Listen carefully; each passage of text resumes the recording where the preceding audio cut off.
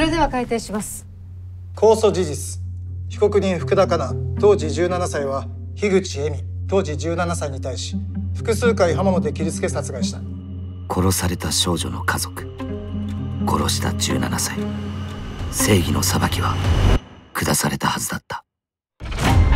世間やマスコミは彼女を一方的に断罪しましたが今こそ法のもとに正しい判決を下すべきだと思いますあなたは自身の行いに対して悔い改めようとしていますか？はい。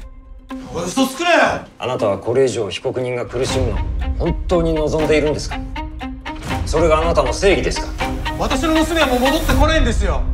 ですから被告人には当初の判決を全うする義務があるのは当然でしょう。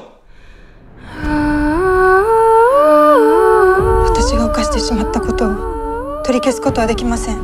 僕たちはうまくやってたんですよ。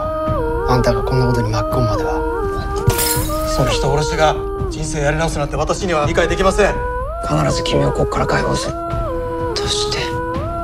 どうしてあの子殺したの？人はどう許し生き直せるのか